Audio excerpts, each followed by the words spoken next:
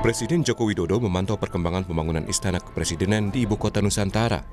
Presiden juga melihat langsung persiapan 17 Agustus yang akan digelar di IKN.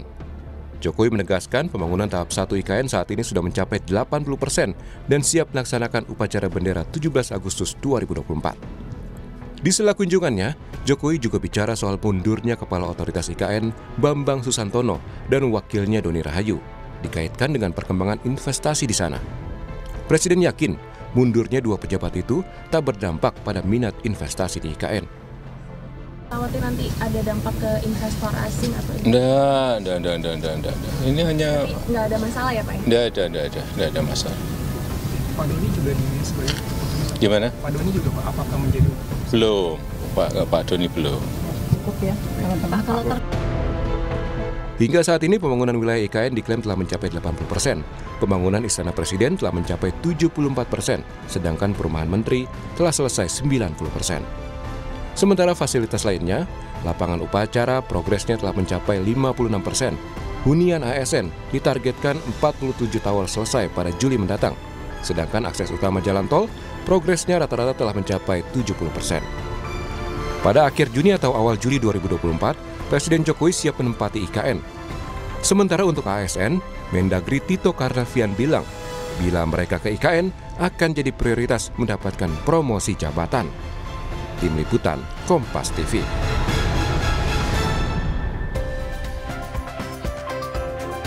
Presiden Joko Widodo akan menempati Ibu Kota Nusantara pada akhir Juni atau awal Juli 2024. Lalu apa saja yang perlu diperhatikan sebelum IKN mulai ada kehidupan? Kita bahas bersama Ketua Umum Ikatan Ahli Perencanaan Indonesia, Henrikus Andi Simarmata, dan Ekonom Universitas Paramadina Wijayanto Samirin. Selamat pagi Bapak-Bapak. Pagi, tadi. Ya, saya ke Pak Hendri dulu. Pak Hendri, ini Presiden akan pindah ke IKN paling cepat akhir Juni katanya. Kalau menurut Anda, apa yang harus diperhatikan sebelum benar-benar menempati wilayah yang uh, benar-benar uh, baru dibangun sebenarnya? Ya, pertama mungkin selamat dulu ya atas kerja keras dua tahun setengah lebih ini membangun infrastruktur dan bangunannya ya. Eh, tapi memang PR yang eh, berat untuk ditinggali eh, tentu ada beberapa hal yang harus bisa dipenuhi ya. Pertama mungkin sudah disampaikan oleh beliau juga yaitu masalah basic eh, utilities ya kayak air terutama energi dan tentu juga eh, buangan limbahnya gitu ya. Tetapi eh, kalau kita boleh eh, memberikan semacam ilustrasi, jadi beda sekali antara berkunjung dengan eh, menjadi eh, dwelling atau bertempat tinggal ya. Nah, Ya. apa yang harus diperhatikan pertama tentu adalah kontinuitas pasokan dan tentu backup ya. Nah, tapi kalau hanya presiden dan beberapa orang, 100-200 orang itu mungkin masih manageable untuk kita menyiapkan eh, backupnya. Tapi kalau nanti sudah sampai pada ribuan orang, maka harus ada satu sistem supporting yang yang apa betul-betul bisa disiapkan. Jadi persoalan eh, utama yang harus dipastikan adalah eh, kontinuitas pasokan tersebut. Yang kedua, bahwa hidup itu bukan hanya masalah bekerja, tapi setelah bekerja atau after office itu seperti apa eh, eh, kegiatan atau amenitas yang ada di sana. Jadi di, di dalam teori itu eh, untuk disebut sebagai kota itu ada lima unsur. Hmm. Wisma, karya, suka, marga, penyempurna. Nah, kalau wismanya mungkin sudah ada rumah eh, menteri, rumah ASN gitu ya. Karyanya itu adalah tempat pemerintahan sampai saat ini ya. Jadi tempat kerjanya hanya masih pemerintahan, belum ada yang lain. Nah, eh, marga itu sudah ada jalan, tapi air pipa air masih sedang dikerjakan dan eh, beberapa energi juga saya lihat sudah ada solar panel. Jadi nanti mungkin sambil jalan. Tapi yang paling penting adalah suka dan penyempurna. Eh, rumah sakit sudah ada, eh, eh, pendidikan juga tapi sedang ongoing ya. Jadi bagaimana nanti kehidupan setelah bekerja malam atau pagi itu bisa dipenuhi terutama untuk rekreasi karena itu mempengaruhi dari eh, performa ya. Kalau satu dua tiga hari fine, tapi kalau Ya. nanti sudah sebulan itu yang perlu diperhatikan dengan betul-betul. Baik, saya ke Pak Wijayanto. Pak Wijayanto, ini eh, salah satu hal yang penting juga untuk mem, apa, mempercepat pembangunan IKN karena pembiayaan juga tidak bisa seluruhnya dari negara dari pemerintah begitu. Lalu uh, yang penting adalah menarik investor. Nah, sedangkan saat ini kan dari total sekitar 400 triliun ya kalau saya tidak salah. Ini baru sekitar ya 47 triliun ini uh, apa anggaran yang segar yang di, ditarik dari investor. Nah, uh, tapi kalau Anda lihat peristiwa kemarin dengan mundurnya uh, kepala otorita IKN, uh, seberapa besar pengaruhnya bagi apa namanya masuknya para investor ini untuk mempercepat pembangunan IKN, Pak Wijayanto? Ya, makasih. Sebelum ya. menjawab itu ya, saya ingin ya. meng-highlight uh, rencana Pak Jokowi uh, pindah ke sana uh, okay. Juli nanti. Ya. Saya rasa ini makna simbolisnya lebih kentara daripada makna praktisnya, gitu ya. Jokowi yang pertama ingin uh, menunjukkan bahwa ibu kota Nusantara itu adalah sidik jari beliau. Beliau adalah presiden yang menginisiasi dan presiden yang tinggal di sana pertama kali. Yang kedua, ini juga ada yang unik gitu ya di akhir masa jabatan beliau bulan-bulan terakhir beliau tidak uh, slow down, hmm. beliau tidak berusaha menata, mengharmonisasi dengan calon pemerintah pengganti, tapi beliau justru tetap gaspol. Hmm. Uh, dugaan saya ada indikasi ketidakpercayaan beliau kepada pemerintah pengganti bahwa pemerintah pengganti ini akan melanjutkan IKN dengan kecepatan yang sama seperti yang beliau harapkan. Hmm. Jadi dua hal ini menurut menurut saya ada di belakang uh, simbol yang ingin Pak Jokowi tunjukkan uh, dengan berpindah ke IKN uh, bulan-bulan terakhir sebelum beliau hmm. uh, mengakhiri masa jabatan. Terkait dengan minat investor, saya hmm. rasa investasi yang sudah masuk ke IKN itu pun tidak bisa kita anggap sebagai investasi murni. Oke. Okay karena investasi-investasi ini link ke APBN juga. Misalnya, apartemen-apartemen yang dibangun itu, investor mau invest di sana karena pemerintah menjamin akan menyewa penuh seluruh unit selama 25 tahun, 30 tahun. Ya. Bagi investor, ya ini ada guaranteed IRR, nggak ada risiko. Hmm. Kemudian investasi air misalnya, ada take or pay. Jadi ya. sudah ada garansi revenue dari pemerintah. Kemudian ada investasi yang tukar guling dengan aset di Jakarta, tukar guling dengan kebijakan uh, yang dikeluarkan pemerintah pusat. Jadi kalau kita sebut investor real itu masih uh, sangat uh, minim ya. gitu. Nah, memang risikonya, Mas, ke depan IKN ini sangat tergantung kepada APBN. APBN. Terkait ya. dengan investasinya, terkait dengan biaya operasionalnya, terkait dengan insentif yang membuat masyarakat, yang membuat eh, ASN mau tinggal di sana. Tadi kan sudah disebutkan akan prioritas uh, promosi, akan dapat insentif gaji tambahan dan sebagainya. Ujung-ujungnya semua ke APBN. Ini tentunya sangat memberatkan. Tadi Mas Sima Marta menyebut lima hal tadi ya, ya. hanya satu dua yang uh, terpenuhi uh, empatnya dipenuhi dengan apa? Dengan insentif-insentif yang mahal. Ujung-ujungnya bersumber kepada APBN. Okay. Nah, inilah Mas, kenapa belum tentu dan bahkan hampir pasti pemerintah mendatang itu tidak akan melaksanakan IKN sesuai dengan speed, size, schedule yang diharapkan Pak Jokowi karena ada ada begitu banyak keterbatasan fiskal salah satunya dan ada banyak keterbatasan yang lain. Ya, dengan uh, beban fiskal yang begitu berat untuk APBN, uh, apa skema yang bisa ditembus kira-kira Pak Wijayanto untuk kalau memang sekarang IKN ini bergantung sangat bergantung kepada PBN? Uh, eh, saya rasa harus lebih realistis gitu ya, karena kalau uh, tetap ambisius seperti ini hmm. dan itu tidak bisa terwujud, ujung-ujungnya justru bisa mangkrak. Hmm. Sehingga supaya tidak mangkrak, apa yang perlu dilakukan? Rescheduling, resizing, refocusing jadi rencana itu harus disesuaikan dengan uh, fakta di lapangan. Kita nggak punya uang, tidak boleh memaksakan diri. Kita sudah mempunyai kapasitas berhutang yang sangat minim, gitu ya. Kalau pemerintah berhutang terus-menerus, menerbitkan surat utang negara terus-menerus, maka bunga akan tinggi dan investor tidak akan uh, percaya lagi. Hmm. Jadi memang uh, satu-satunya jalan harus uh, resizing, refocusing, dan uh, rescheduling begitu. Uh, upaya okay. menarik investor, saya rasa makin sulit untuk menarik investor masuk dalam situasi global yang seperti ini. Hmm. Apalagi investasi eh, kota ini investasi jangka panjang, sehingga investor yang sifatnya private equity, capital market ya. itu pasti tidak tidak akan mau masuk. Kecuali kalau segala segala infrastruktur sudah tersiap, tersiapkan, populasi sudah uh, banyak, ya. barangkali investor akan mau masuk ke ya, investasi baik. yang sifatnya hotel, entertainment, baik. sekolah. Ini. Baik Pak, Pak Henrikus lagi, saya tanya lagi soal uh, apa Pak Ridwan Kamil yang sebelumnya sebagai kurator IKN ini bilang butuh 25 tahun agar IKN ini dibangun sesuai konsep. Nah, perkiraan 25 tahun ini termasuk cepat atau memang um, memang jangka waktunya selama itu, Pak Henrikus? Ya, memang membangun kota itu bukan sprint ya, tapi ya. maraton. Oke. Okay. Nah, karena itu saya juga sepakat tadi masalah kecepatan tadi mungkin ada baiknya mulai dikurangi bahkan kalau boleh kita uh, lihat kembali ya hmm. apakah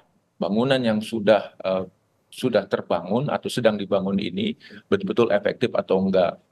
Mungkin kita perlu sebelum saya menjawab waktu ya, ya. mungkin kita menyarankan untuk bikin placemaking dulu ya. Hmm. Jadi bangunan itu tidak akan bernilai apa-apa kalau tidak ada uh, sense of belonging dari orang yang di sana.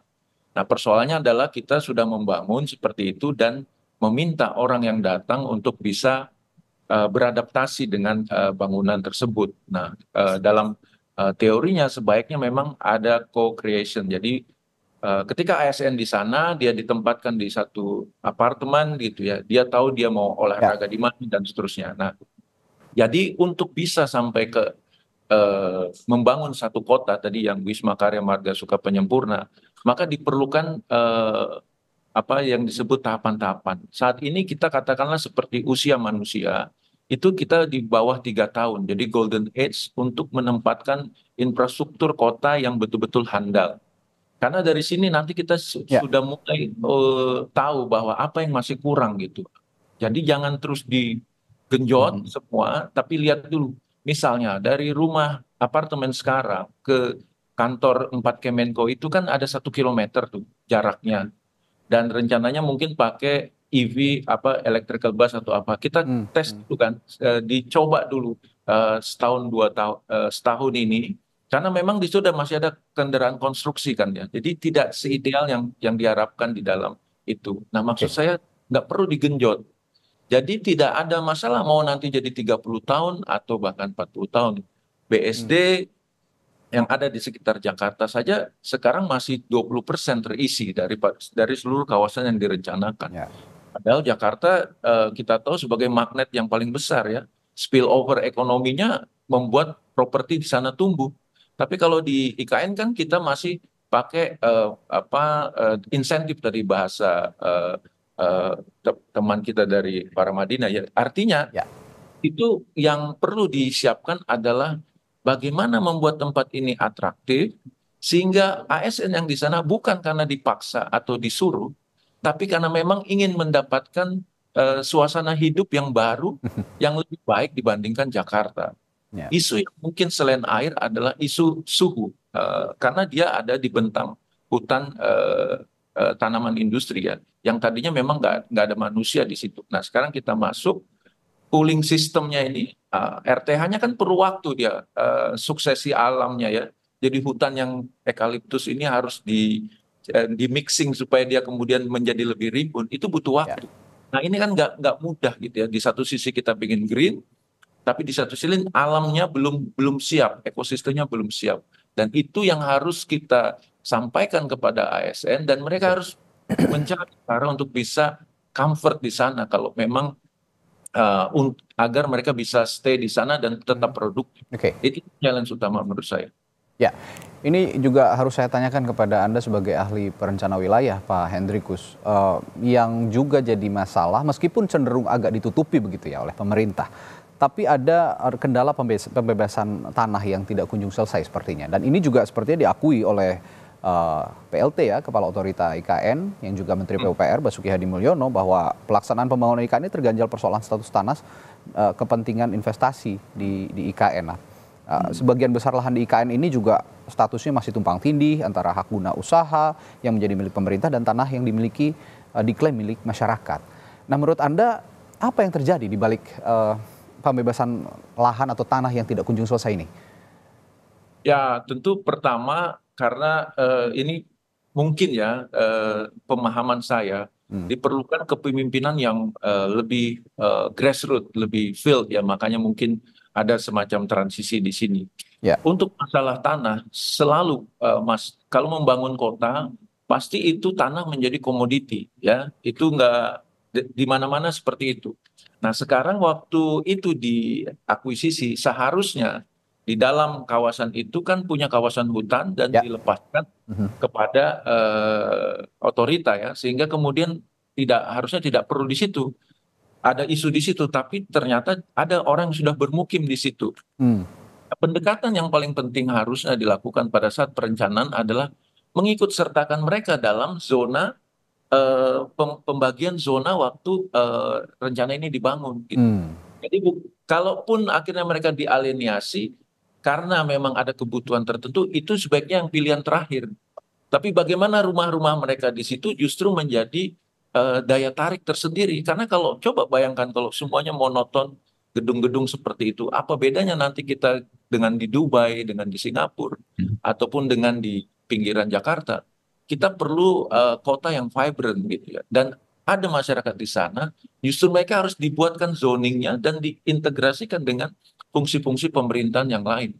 Karena toh at the end uh, banyak sekali sejarah kota mengatakan kalau kita bikin CBD top ada pusat perkantoran ya. saja, ya. nanti sore sudah kosong. Hmm. Makanya ada fungsi mixis di situ, ada residensial di situ, hmm. dan itu perlu kita betul-betul uh, maksud saya tadi kecepatan diturunkan itu adalah kita kaji kembali apakah desain ini kemudian setelah ditempati ada masalah sedikit apa enggak. Kalau kita pindahan juga gitu kan, ya, ya sudah ya, ya, oh ada penyesuaian-penyesuaian. Apalagi nanti hanya 45 menit atau 30 menit ketika tol jadi. Mm -hmm orang dari Balikpapan ke ibu kota.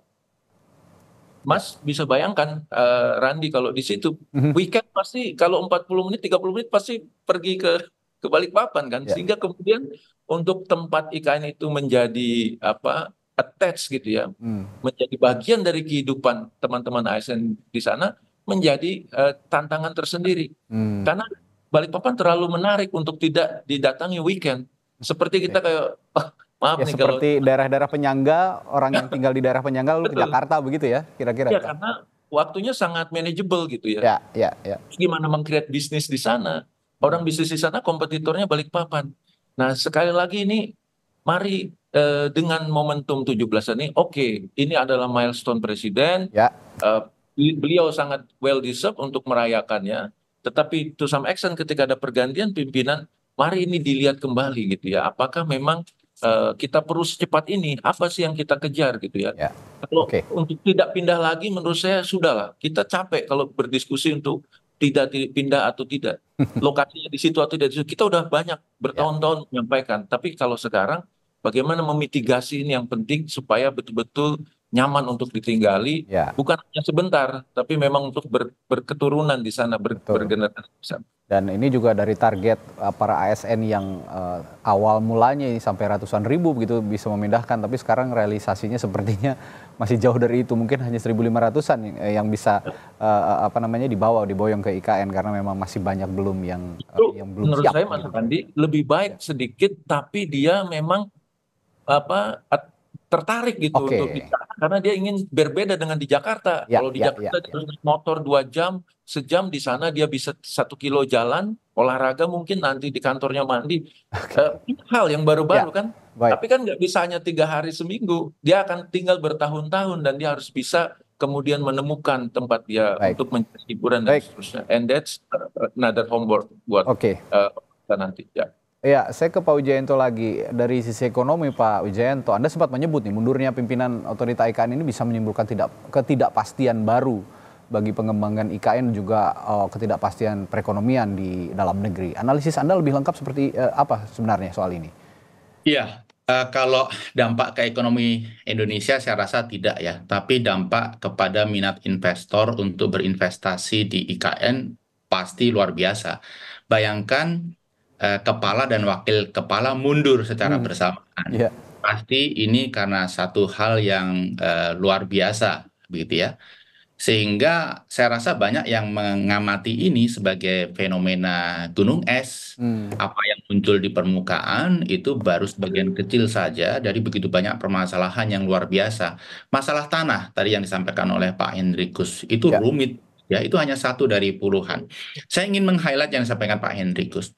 Jadi sepakat sekali masyarakat kanan kiri, masyarakat sekitar itu harus dilibatkan dan dimuliakan. Bukankah tema memindah ibu kota ini adalah untuk memeratakan pembangunan dan kesejahteraan?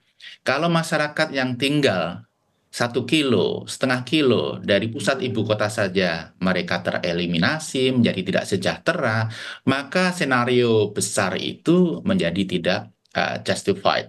Ya. Uh, saya melihat, Mas, memang ini harus di resize, desainnya harus disesuaikan menjadikan IKN kota yang mandiri itu perlu waktu lama, biaya luar biasa besar. Uh, redesign yang memungkinkan ya seperti apa yang tadi sudah disinggung oleh Pak Hendrikus. Jadi kota masyarakat tinggal di Balikpapan, kemudian IKN dijadikan murni kota administratif saja. Bahkan nanti mayoritas uh, penghuni IKN commute dari Balikpapan ke IKN, saya rasa itu sesuatu yang uh, normal saja. Ya. Ada begitu banyak kota di mana hal seperti itu terjadi di uh, dunia ini. Mhm, mhm. Ya kalau kalau ya seperti di Jakarta juga uh, ya saya, yang saya diskusikan tadi dengan Pak Hendrikus bahwa daerah-daerah penyangga commute banyak sekali termasuk saya tiap hari dari yeah. Tangerang Selatan ke Jakarta ya ya normal-normal saja tapi yang penting yaitu jangan sampai meminggirkan masyarakat uh, sekitar begitu sehingga uh, jadi masalah ke, ke ke depannya begitu ya Pak Wijayanto. Yeah. Ya, lalu uh, terakhir Pak, uh, yang bisa Anda sampaikan untuk apa ya? Uh, ini juga masyarakat banyak keluhan soal uh, yang sekitar ya, masyarakat sekitar termasuk juga daerah-daerah penyangganya bahwa ini me, apa, mengesampingkan mata, mata pencarian mereka yang sudah ada. Ini ini jadi problem baru lagi sepertinya. Apa yang Anda bisa sampaikan soal ini untuk masyarakat-masyarakat yang merasa terpinggirkan mata pencarian oleh uh, keberadaan IKN? Ya. Jadi saya lihat ya, kota itu pasti memerlukan begitu banyak pekerjaan. Ya. Pekerjaan-pekerjaan yang bisa dilakukan oleh masyarakat lokal, serahkan kepada mereka. Kalau mereka tidak memenuhi persyaratan, masih ada waktu untuk melakukan training dan edukasi. Okay. Saya rasa ini harus dinomorsatukan. Jangan tanah mereka hilang, pekerjaan mereka juga hilang. Ini kasihan sekali. Mm-hmm. Lain lagi, yang lebih besar, uh, Mas, saya ya. melihat sebenarnya uh, eh, IKN ini tidak boleh dilihat sebagai menara gading. Hmm. Jangan sampai ini menjadi kota modern, megah di tengah-tengah Kalimantan, di mana kota-kota yang lain itu keteteran dan ketinggalan zaman. Oke. Okay. Misalnya Samarinda, Palangkaraya, kemudian Banjarmasin, ini adalah kota-kota yang eh, mereka tidak punya kapasitas atau daya untuk mengembangkan diri. Mereka nggak punya cukup anggaran dan resources dan lain sebagainya. Jadi pengembangan IKN menurut saya juga harus didesain terintegrasi dengan dukungan pada kota-kota di uh, sekitarnya. Karena kalau tidak, kota-kota di sekitarnya tidak disiapkan, maka bisa dipastikan nanti urbanisasi itu. Dari kota-kota sekelilingnya orang berebut pindah ke IKN untuk mencari pekerjaan yang belum tentu pekerjaan itu tersedia. Jadi harus terintegrasi, jangan sampai ini dilihat sebagai proyek Menara Gading di Kalimantan. Oke, singkat Pak Hendriko terakhir uh, ini juga soal pengerjaan IKN yang sepertinya sangat dikebut gitu ya. Ini berdampak pada para pekerjanya juga di sana yang uh, berdasarkan liputan beberapa tim liputan kami di lapangan secara investigatif gitu. Yang biasanya bekerja dari pagi hingga jam 5 sore harus lembur gitu sampai jam 10 malam bahkan uh, maraton, tidak ada hari libur. Nah, ini secara uh, kacamata perencanaan pembangunan dan wilayah ada dampak negatif yang bisa di, di harus dihindari nggak kira-kira Pak Hendrikus soal ini? Ya, bagi saya ya kalau kan nggak mungkin kecepatan 100 km terus ya, oh. nanti bahaya lah gitu ya. Ya, ya. Nah, saya rasa mari kita apa sampai pada titik di mana perayaan 17-an ini uh, itulah maksud saya ya sudah di situ. Hmm. Nah setelah itu baru kita punya waktu sampai Oktober Pak Presiden yang baru dan mungkin akan ada kepala otorita yang baru untuk tanda kutip menghidupkan tempat ini. Hmm. Karena persoalan ya. besarnya adalah bukan pada kita jago menempatkan bangunan, tapi membuat bangunan itu menjadi hidup dan menghidupkan orang yang tinggal di sana. bukan hanya masalah kerja, tapi juga masalah dia bisa uh, ber, mencari hiburan, bisa benar-benar menjadi settle di situ dan menjadi attach uh, di situ itu yang menjadi uh, PR besar dan butuh waktu. Hmm. Karena kalau di sana semua misalnya kayak taman ya yang ada di, di, di istana depan istana. Kalau ternyata kayak di Monas nggak boleh ada orang pakai, nggak boleh diinjak rumputnya, gimana kan? Jadi masih banyak aturan-aturan detail yang harus disiapkan. Karena akan ada ribuan orang mungkin di sana. Mari kita dari situ dulu tuh ya. mempelajari pola behavior masyarakatnya supaya nanti bangunan-bangunan berikutnya bisa uh, menyesuaikan. Yang penting Wisma Karya Marga Suka penyempurna pada kawasan inti itu sudah ada dan bagaimana kemudian itu dikelola. Karena PR besar berikutnya menurut saya adalah mengoperasikan bangunan-bangunan itu. Uh, maintenance cost sudah pasti tinggi, operational cost juga, dan itu nanti kita bisa kalkulasi tuh. Waduh, kalau sebesar ini mungkin ada pertimbangan-pertimbangan lain yang ya. mungkin uh, nanti presiden atau kepala okay. otorita yang baru uh, bisa mengeksekusi. Ya intinya bikin dulu happy aparatur negaranya ya supaya supaya nah, keberlangsungan pemerintahan juga lancar kalau nggak happy ya susah juga uh, apa untuk menopang pemerintahan yang akan rencananya digulirkan nanti ke depannya dari ibu kota ya. Nusantara. Baik, terima kasih Ketua Umum Ikatan Ahli Perencana Indonesia Henrikus Andi Simarmata dan Ekonom Universitas Paramadina Wijayanto Samirin telah berbagi perspektifnya pagi hari ini di Sapa Indonesia Pagi. Sampai jumpa lagi Pak, sehat selalu.